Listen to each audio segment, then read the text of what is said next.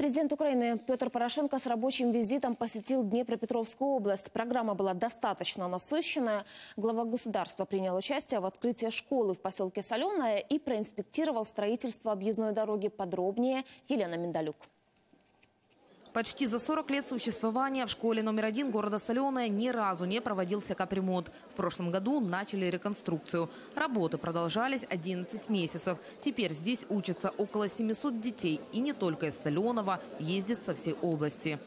У нас є сучасні лабораторії, е, які дозволяють проводити дослідження. У нашій школі створено всі умови для е, людей з особливими освітніми потребами. От старой школы остались только стены. Внутри все новое и современное. В классах мультимедийные доски, компьютеры. Вместо обычного стадиона настоящая спортивная база. Також у нас є е, нова портативна метеостанція, про існування якої ми, чесно кажучи, навіть не знали до цього часу. Сегодня в школу приехал президент Украины. Поліночка, говори куди? Сюди? Так. Погодилась з дівчиною? Що діло зроблено? Ну все розібралися.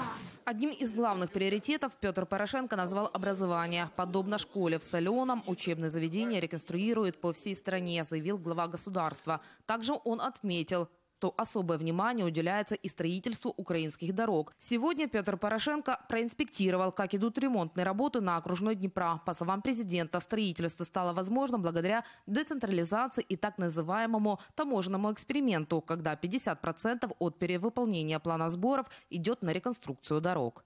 Перш за все, зараз ми сьогодні маємо можливість переконатися, що то рішення, яке було прийнято мною щодо започаткування митного експерименту і розпочатку кардинальної нової програми щодо дорожнього будівництва, зараз це втілюється в життя.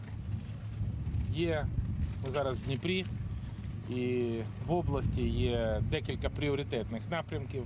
Ці напрямки складають будівництво або капітальний ремонт дороги на Київ.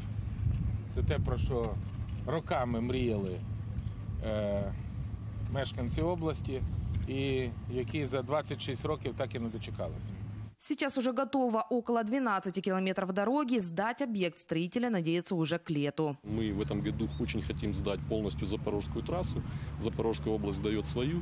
Вот впервые за годы независимости два крупнейших промышленных областных центра страны будут связаны ровной, прямой, нормальной дорогой европейского качества. Ближе к обеду в Днепре местные жители собрались на флешмоб, посвященный Дню вышиванки. Более полутора тысяч человек, и это рекордное количество, выстроились, образуя карту Украины. Присоединился к ним и президент Петр Порошенко. С помощью разноцветных модулей выложили 13 узоров. Елена Медлюк, Евгений Конецов. Подробности телеканал Интер, Днепропетровская область.